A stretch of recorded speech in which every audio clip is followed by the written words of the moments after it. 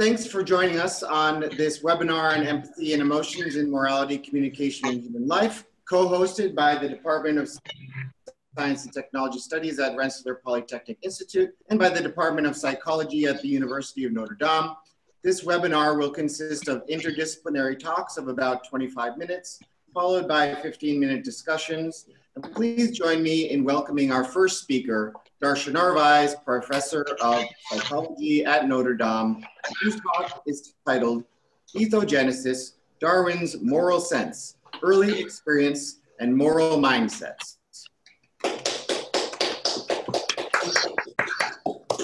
Good morning. Make sure you uh, mute your microphone unless you're speaking, or else we get all sorts of feedback, right? Okay, so uh, pleasure to be with you all. I'm, I'm, my, um, I'm here in the corner, I think under Julie Vecchio's uh, sign in, but you see my PowerPoint. And so I'm going to focus there. Um, I have to use the right computer though. Okay, so empathy. We're talking about empathy today. Uh, I use a transdisciplinary approach to thinking about morality and human well-being. And uh, one of the pieces I uh, adopt or adapt into my work is Darwin's view of the moral sense. He came up with this idea when Herbert Spencer uh, noted, uh, well, argued and later changed his mind, but he said, oh, human evolution, that's all about, uh, you know, essentially the survival of the gene and before gene talk was available, but it was uh, humans evolved to be selfish. and so Darwin said, what? Uh, and looked through uh, the tree of life and found all these characteristics uh, that uh, other animals display that culminate in human morality. So it's social pleasure, uh, loving to be with other people, other people, uh, other conspecifics. Empathy is part of that. Memory, using your memory to fit into society, being concerned for the opinion of others, and controlling and building habits to fit in. And we could add higher consciousness because if we look at nomadic foraging peoples who represent 99% of our history as a human genus, um, we see they have all these characteristics. And Darwin noted, however, uh, that they were available or present in uh, pre-civilized societies, but not so much in Britain. And I've argued elsewhere in this article, uh, chapter, that they've actually been decreased the United States, as we can see from the data of various kinds. So what's going on? Why would we diminish in our human sense? Well, Darwin thought that uh, this was something we inherited. Well, we have to really understand that maybe it's not inherited so much as constructed. So we, we need to understand who we are as human beings, what do we need uh, to thrive, survive, thrive, reproduce, uh, to flourish, to optimize our functioning. Well, we know we're animals, we need nourishment and warmth, but that's not enough for a mammal. Mammals also need affection and play to grow their brains well, which I'll show you in a moment. And we're social mammals, so we need extensive bonding with a primary caregiver and with a community that supports both the mother and, and the child. And it turns out that we're really biosocially constructed by caregiver treatment and by our early experience. I'll give you a couple examples in a moment. So uh, if you look at our, uh, compare our needs at birth with those of other hominids and see how immature we are. Look at the bottom line there. And you can see that we're, uh, our brain volume at birth is much smaller. This is full term birth, 40 to 42 weeks. Lots of children now are born before that time. Uh, the eruption of the first tooth is a signal of cognitive development and the last uh, tooth, permanent tooth, is of um, physical development, although neuroscientists tell us now that uh, students, I mean, sorry, kids really don't develop into adults till about age 30. Uh, so it's much longer uh, that we need supportive environments to uh, shape ourselves. And breastfeeding is part of that, you can see, and, and I'll keep going. So we're really born uh, not 18 months early compared to other animals. We can't get up after a couple hours and walk around and feed ourselves, right? It takes a long time. So there's so many things that are unfinished yet when we're born as human beings. And so uh, it matters what happens after birth.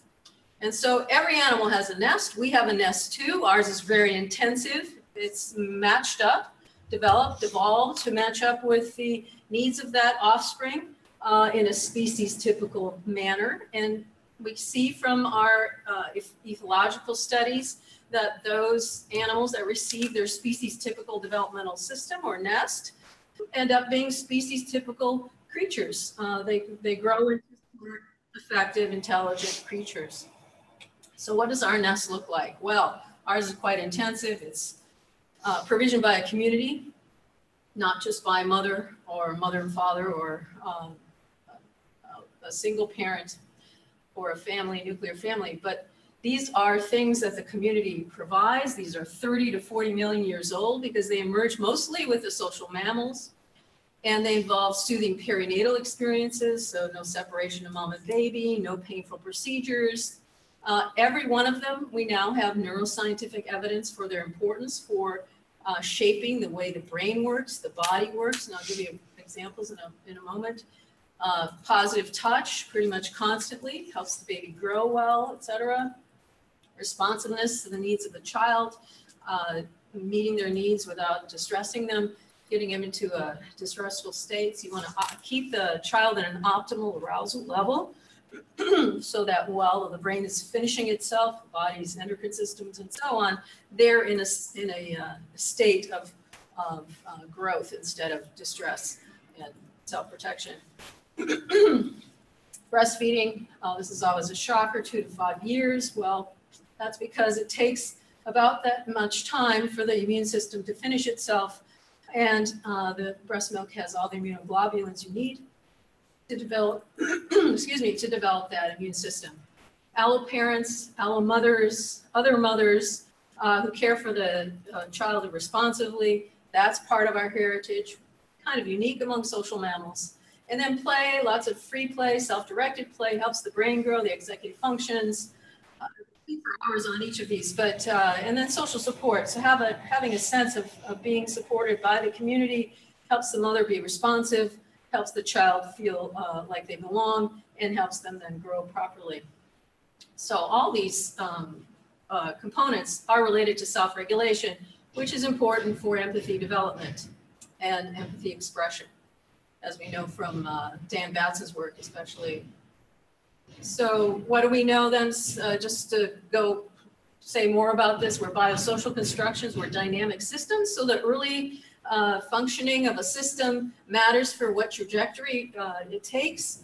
And so it's going to affect who we become, uh, how we're uh, treated and how we experience the world early affects how everything gets set up. So there's this constructive interactionism and a constant interaction every second between nature and nurture, which you really can't separate and there's epigenetic effects for all systems going on continuously, sensitive periods happening and passing. And so this includes every physiological system and the emotion systems and the sense of self and uh, social connection. So if we look at responsivity, this is the most well-studied in psychology. Here's just a, a little more detail on that. Sensitive responsive care establishes brain wiring. It's uh, the emotion regulation, trajectory for all sorts of habitual patterns. And it means that it's a relational synchrony between the caregiver and the child. So their, their emotions are, are communicating properly. Their uh, cognitive expressions of meaning are shaped and uh, by each other. There's a mutuality about it. So intersubjectivity. And at the brain level, it's a limbic resonance between the two brains, and they're mutually co-regulating and it's been called this external umbilical cord. One example of what's happening is the vagus nerve is tuned up or, or not, it's uh, under poor care.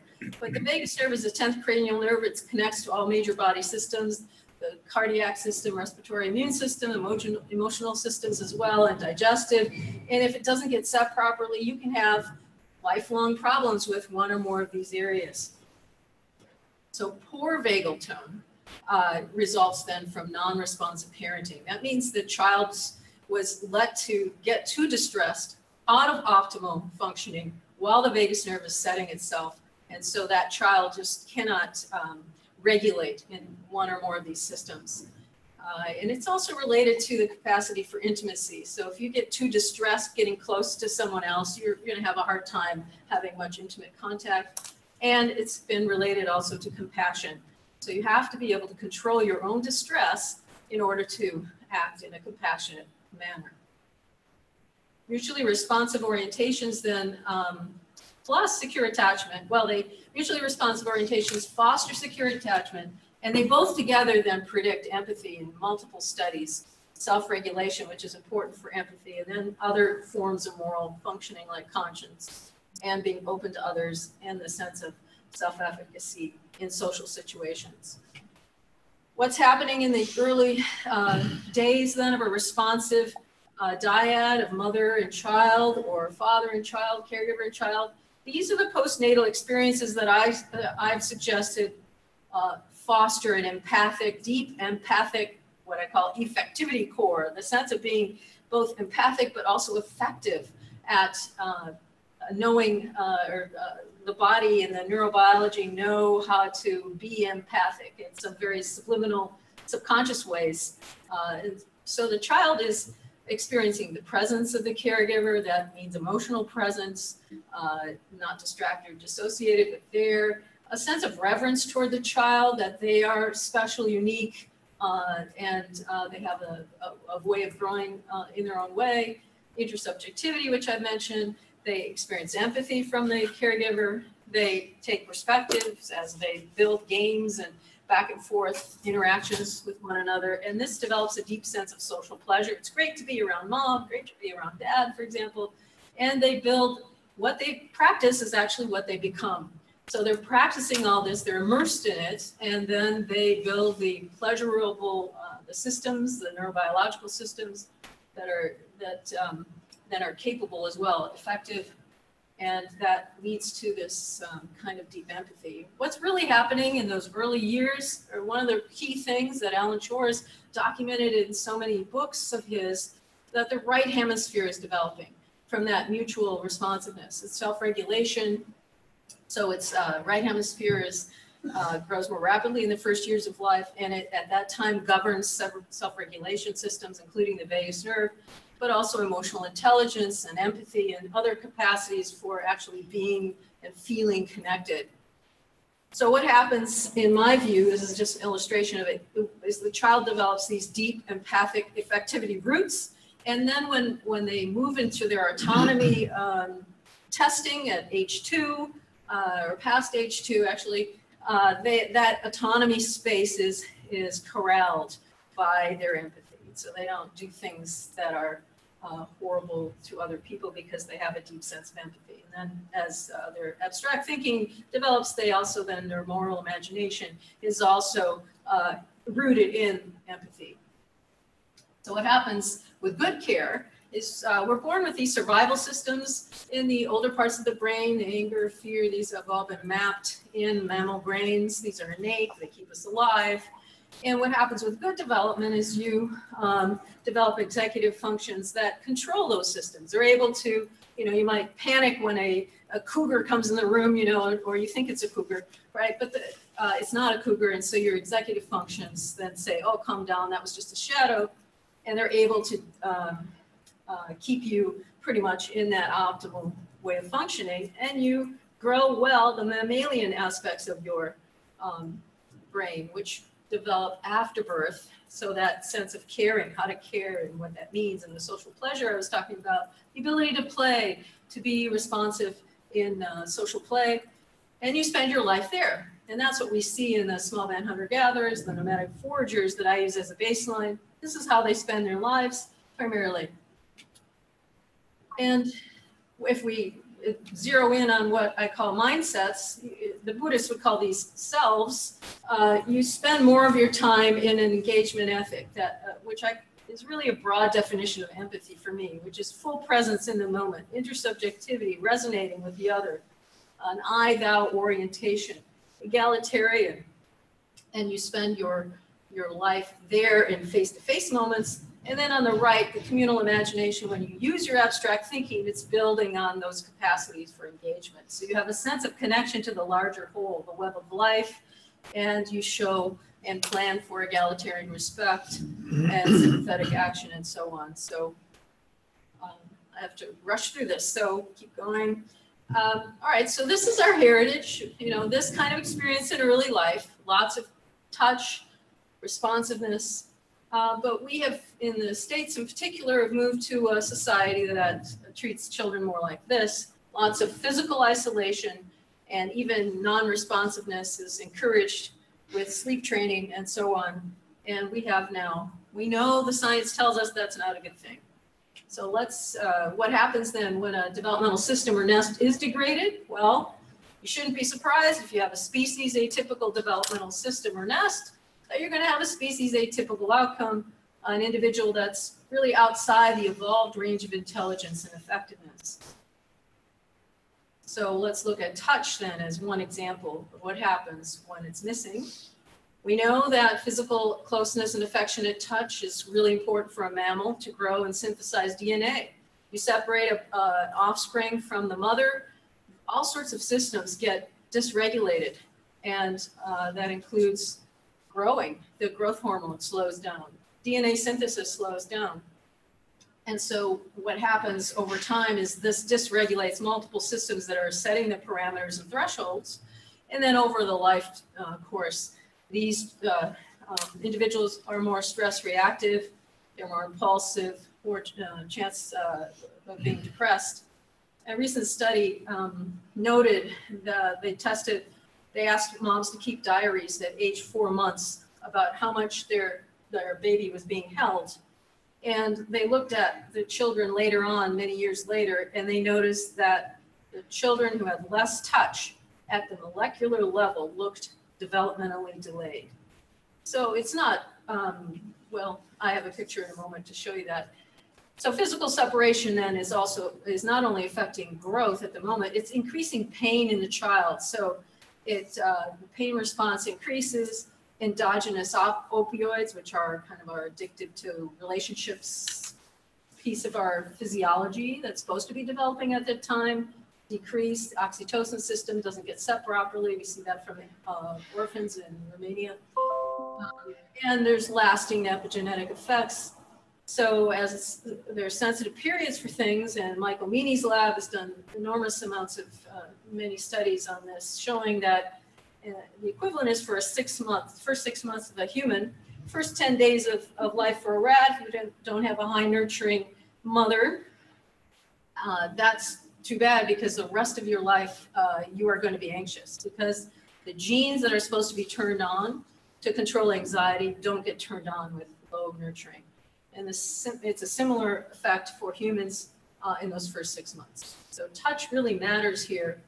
And uh, this is sort of, a, I like this example of the brain. The left is normal brain, the right is a brain that's been overly stressed. And you can see there's fewer synapses, fewer connections on the neurons. That's what happens if you leave a baby to cry. The cortisol levels get so high that they melt synapses. And of course, the things that are supposed to be growing don't grow as well. So what happens um, overall is the physiology is malformed in all these systems. You can see uh, the image there on the right is a three, uh, two three-year-old brains, the normal sized brain, um, a sagittal uh, view and um, uh, the right is an extremely neglected three-year-old's brain. You see the touch then really matters here. Responsiveness uh, is actually very physically visible. So the child grows up with a sense that something's not right, feeling, uh, this is from Jean Liedloff's uh, continuum concept. She was an accidental anthropologist, really, and uh, this is a nice way to put what the difference is. So for a child who's been responded to and carried and receives the nest. The feeling appropriate to an infant in arms is his feeling of rightness or essential goodness. The mm-hmm. premise that he's right, good, and welcome. Without that conviction, a human being of any age is crippled by a lack of confidence, a full sense of self, of spontaneity, of grace. So this is focusing on the self um, that's displayed. And, if you don't have a well-developed self, uh, that confidence, it's really hard to be empathic. It's really hard to connect to others. And the um, Dalai Lama, when he first came to the United States, he said, "What's wrong with everybody?" because he noted that they didn't have this uh, kind of confidence, the spontaneity and grace that he expected a human to have. So instead of functioning this way, when your early life um, is toxically stressful and you, you're left alone a lot, you're you lots of pain and uh, distress, you, your brain then learns to function a different way. You're more stress reactive. When the stress response kicks in, it changes the blood flow in your body. There's nothing much you can do about it except learn not to be stressed, right?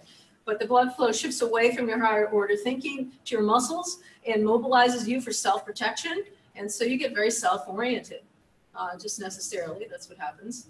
And if in early life you've been toxically stressed, you don't grow your prosociality. So your ability to care for others, your empathy, your empathy roots then are um, mal um, set. They're not set properly. So, and this is what I talk about mindsets or selves, right? You spend your life face to face in social opposition or social withdrawals. You try to dominate the other in some fashion, feel better than them or you just withdraw and you don't express yourself at all.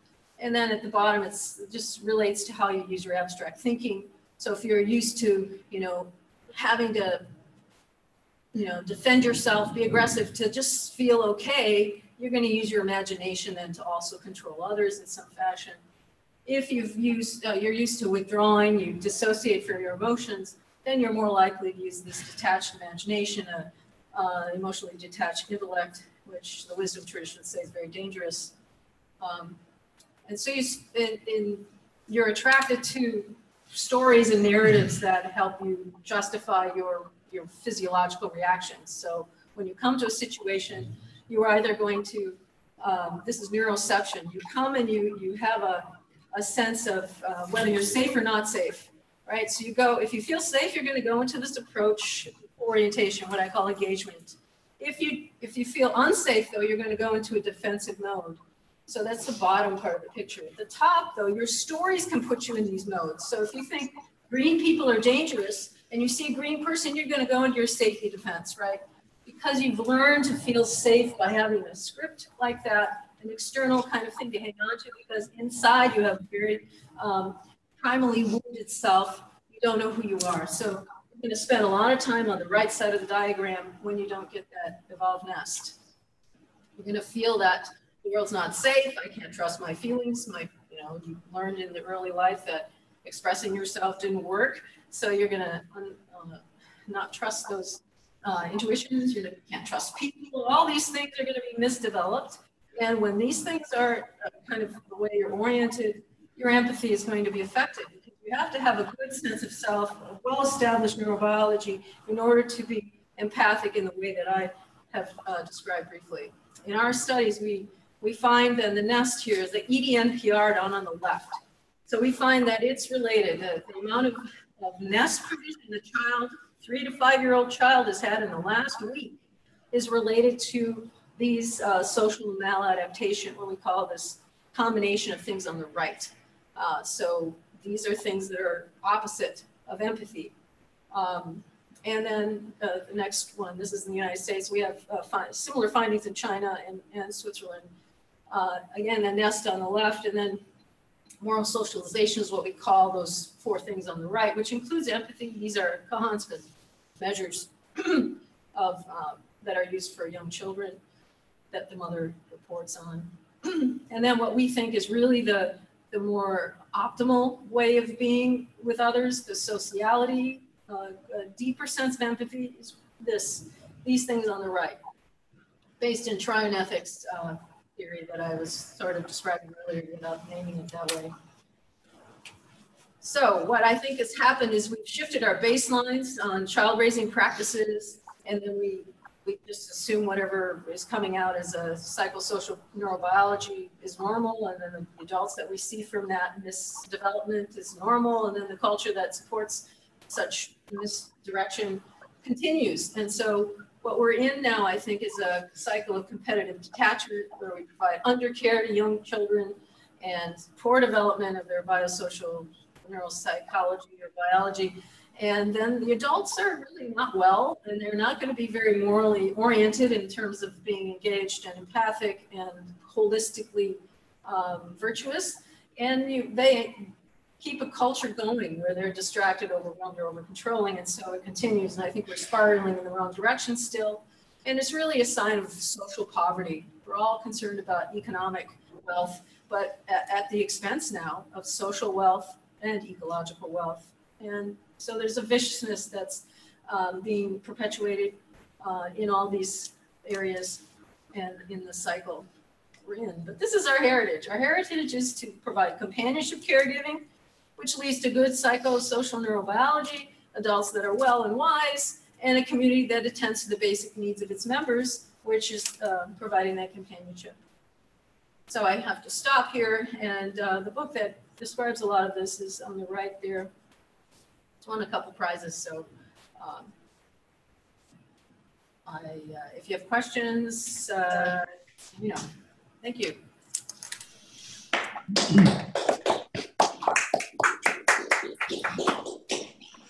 Thank you so much, Darcia. Uh, we will take our first question from one of our keynote speakers.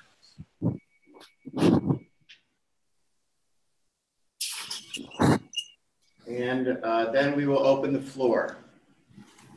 Uh, keynote speakers, make sure you are unmuted when you begin talking. In the lower left-hand corner of your screen, you can unmute yourself.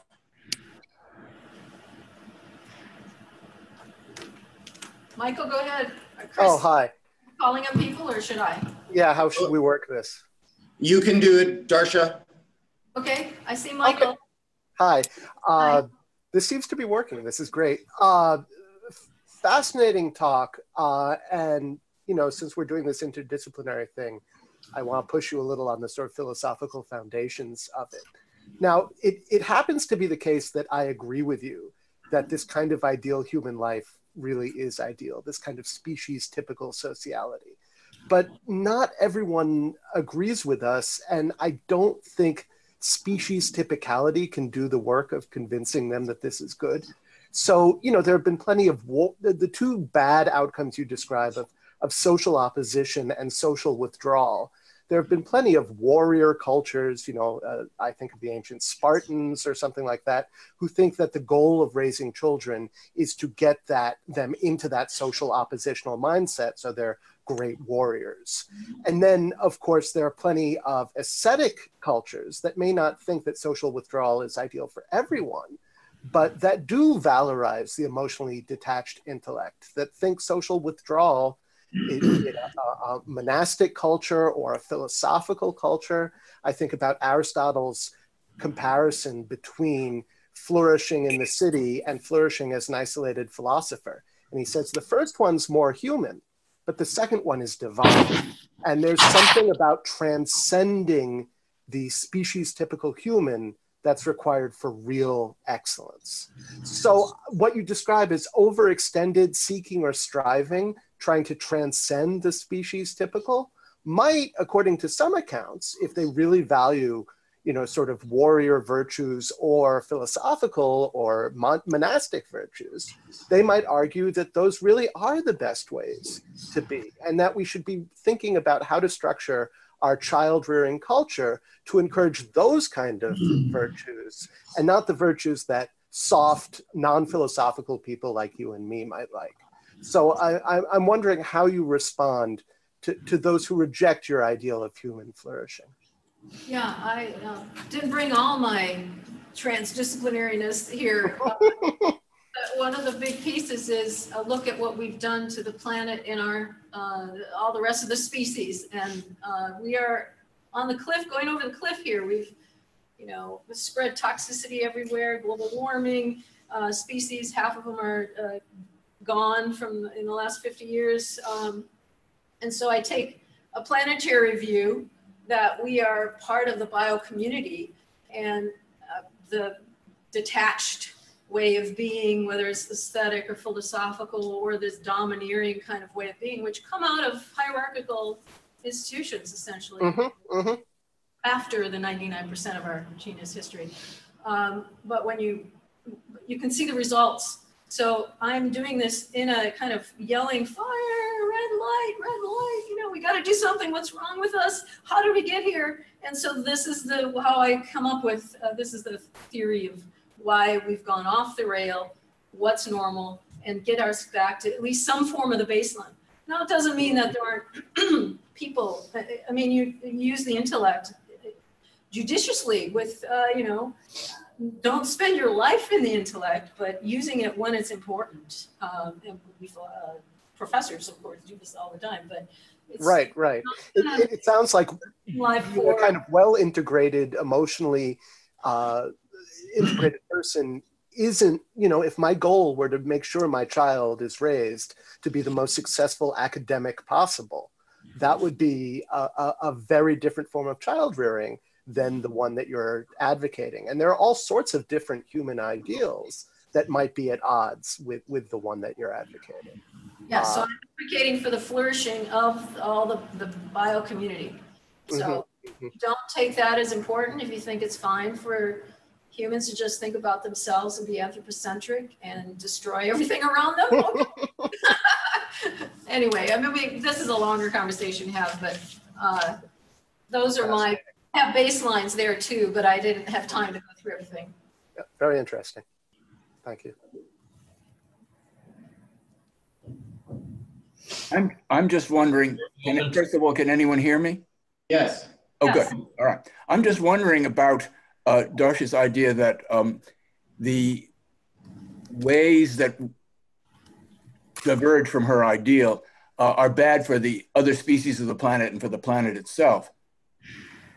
Um, someone might say that that's a consequentialistic argument and that what's good for the planet has to be weighed against what's good or admirable for, for individuals. So I don't think it's a decisive argument that uh, the, the, way we're re- raising children now and the lack of the ideal that Darcia talks about, that this is somehow uh, uh, less than less than ideal, and that the ideal uh, has to be uh, along her lines so I, in a way, I'm backing what, what Michael says. And I think that to argue that it's bad for the planet doesn't quite do the job of showing that your ideal really is the ideal. Right, I know it needs more detail. Um, so I, uh, if you look at the small band hunter gatherers, you look at societies that hold the indigenous worldview, which is that we are one among many um, sentient beings and our responsibility is to keep things going in our, you know, because we rely on the earth so closely in these societies, you want to worry about the flourishing of the all. And because the right hemisphere is well developed, you have a sense that you're all connected anyway, and you're all kind of one common self. Uh, and in those uh, groups, they, they know their landscape so well. They know they, take the mindset of the animals and the trees and they, they have a sense of being able to move in and out of different kind of selves and, and perspectives. They're multi-perspective thinking. So it's not just saying the planet. I know it's just too big and too, too vague. Uh, but in these uh, sustainable societies, they're very much wedded into, rooted into the landscape and have deep affection for it and empathy for it. So that's what I'm really talking about, which I didn't have time to get into. Okay, are we, Yes, am I audible to uh, people elsewhere without a dedicated mic? how do we Yes. change the camera? Okay, Robert Audi speaking, and I'll start with a very short remark on the past two questions in relation to what Darcia was saying. As I see it, her account of the importance of the elements in development is compatible with any number of ideals being um, shall we say, engendered and developed uh, after early childhood. So I would have said uh, initially that the moral development theory of early childhood is neutral with respect to a number of the ideals we want to make room for. My actual question was how important it is that mothers give the kind of care that you think crucial, because we're in an age when uh, two jobs uh, are crucial for many families. And so uh, one view would be we have to support uh, longer leaves during childhood for mothers or um, better funding for uh, good care if other caregivers can live up to the close relations you said are so important. Right. So in our ancestral context, uh, maybe 40% of the time the mother's caring for the child. It's other people, fathers, grandmothers, and actually uh, in some of the settings, 20 to 40 year olds are going out doing the hunting and gathering. And it's the older people that are caring for the children most of the time. And breastfeeding was shared uh, when needed among the other women in the community. So, yes, it's much more of a communal thing, but somebody, and there's been some research showing that three people ideally are uh, need to be in love with that child, and that's help helps them flourish. And it doesn't matter who they are, right? So as long as as long as you can get breast milk to them, I would say uh, in some fashion. Uh, it's it's much more fluid and complex than uh, just simple. Thanks. Okay, I want to jump in here too. Uh, Nancy Snow here. Can people hear me? Yep. Yes. Okay, thank you. Well, Darcia, at this point, I think you have a unified wall of philosophers against you. Um, because I'm going to jump on the bandwagon here with Bob Audi and Michael Slotin, Michael Frazer, and say that I think, uh, as Bob put it, your, uh, your early childhood development scheme is compatible with a number of ideals, not just the one that you've uh, talked about. It might be incompatible with the warrior ideal, but I could certainly see the compatibility with monastic ideals. Uh, so, I, and I, I, guess I'm not sure about the, the role of empathy in all of this. Um, uh, but I guess my, my, my real question was uh, uh about the smothering possibility uh, that, that might come up, up, up, up um, you, know, you have developed a, an early childhood approach to counter sort of lack of engagement. But what happens if you've got three or more adults doting on a child? Uh, is that child's autonomy going to be stunted? What's going to happen with that? And certainly we're in a, we're in a position now where we can't go back to the same dynamic as uh, small band hunter gatherers. So what are we supposed to do? given the, the intervening historical eras that uh, we're facing and the present situation.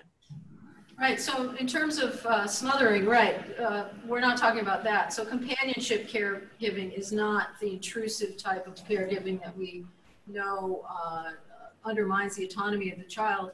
One illustration is um, one of my students' friends was in Africa sitting around a fire in a village and uh, one of the young children put their hand into the fire, started to put their hand towards the fire. And this American slapped the hand away. Oh, and then the elder in the village said, shouldn't be doing that. You'll have to do that for the rest of their lives. Right? So that kind of autonomy, there's uh, other, the indigenous worldview is everyone's got their own way of growing and being, and you pretty much stay out of the way. Uh, unless there's some, you know, dangerous uh, sudden things. So, so what was the, uh, just sorry. It's not attentiveness or intrusiveness. There's a middle ground there, depending on the age of the child and all. Okay, I'm having a bit of a hard time here with the example. Uh, what was the American supposed to have done? Let the child find out that that, that would not feel good. See, we have a hard time understanding. you should control the kids all the time. Oh no, it's dangerous. So anyway. I have a bit of a problem with that. I'm afraid. Yeah. yeah. So in, uh, anthropologists show that two-year-olds have machetes and they're you know playing with a machete and things like that. So this is part of the free-range childhood thing that is a movement now in the states because parents have gotten so anxious and so controlling. So I mean, there's some balance in there, depends on the age of the child. So uh, all the stuff I'm saying is very, you know, just the tip of the iceberg on all the depth that has to be described. But I think we need, I think we need a middle ground here. I think we need, that's kind of what I'm, I'm asking you to provide, right? Is, uh, you know, some idea of what this companionship caring might be uh, that doesn't kind of go to the other side. And I'm sure that a lot of this is culturally, you know, uh, variable um, in, in our day and age and over here where you might say well we don't want the kids putting their hands in fires. We also don't want two-year-olds riding their tricycles in the streets. Um, we don't want them to experience pain by being hit by a car that sort of thing. Yeah so uh, i mean this is all the nuances that a, a, wise parent would have to deal with but they they're now moving into playgrounds that have fires in them that that are dangerous because what they're doing to kids, and that's started in Britain, and they're, they're coming over here, uh, where you have uh, you know old cars or something, so they can learn how to take risks. Part of the problem, I think, John Haidt has a new book out on this, uh, um, coddling children, right? And, uh, that the, the, university students are coming in and they they're so scared of everything, and uh, what we need is the ability to let them go. Now, of course, running in the street is not a good idea. So it's, I mean, there's things to work out. So um, you had the other question though. Can I can I follow up? I think this is this is Asia. I don't know if y'all can see me or hear me. Can I follow up on Nancy's question? Great. Um, thanks, Darcia. Really, really appreciate your work. Um, and really admire your work. Uh, but I wanted to ask. Um, uh, I, I like this idea of providing kind of a safe, secure, comfortable space, right, for children um, and helping their development in that way. But I'm also wondering how resilience plays a role, or what role resilience plays a role in your model. Um, I know this is really big, right, for a lot of folks uh, thinking about child development right now. Um, and it seems like in order for us to kind of develop skills of resilience, we have to suffer, or, or we have to be um, insecure, or, or something. And so I'm just wondering if you could say a little bit more about the connection there. Yeah, uh, that idea of resilience, I think, is overused. Uh, so you hear it in movies, oh, kids are resilient, do what you want, parent, you know. Uh, but as I pointed out, there's all sorts of neurobiological things that are establishing themselves. So if you're gonna leave a baby to cry, which is a popular thing to do in the States, which is considered crazy by most societies, uh, leave them to cry uh, to themselves to sleep, you're going to pay the cost later for the rest of that child's life. So there's a way that when it's time, the child will let you know when they want to go sleep in their own bed. You know, it depends on the kid. And, you know, you do it gently and you do it in ways that are not uh, so extremely stressful that they misde- misdevelop. So these are things that wise elders know how to do, um, and we've lost most of them. Um, so resilience is used, I think, unfortunately, too much as an excuse, uh, way to let off adults' responsibility uh, or genes are used that way. Oh, it's genetic, you know, oh, it's resilience. Yeah, they're resilient. And so there's just like, pay attention to these neurobiological findings we know. Uh, Chuck Nelson from Harvard, who used to be at the University of Minnesota, uh, they reacted to the separation of families at the border. So we, the science is clear. This is terrible for kids. And yet we do it routinely in the United States with babies every night. So that's the thing. We have to wake up why are we why, why are all these stress reactive people who are you know so angry at others uh, the tribalism is promoted by the way we're treating our children so there's a whole bunch of things that are affected by the way we're um, understanding child development or not. And yeah i could go on. Sorry i'm on my soapbox. Thank you thank you uh, so much for uh, answering our questions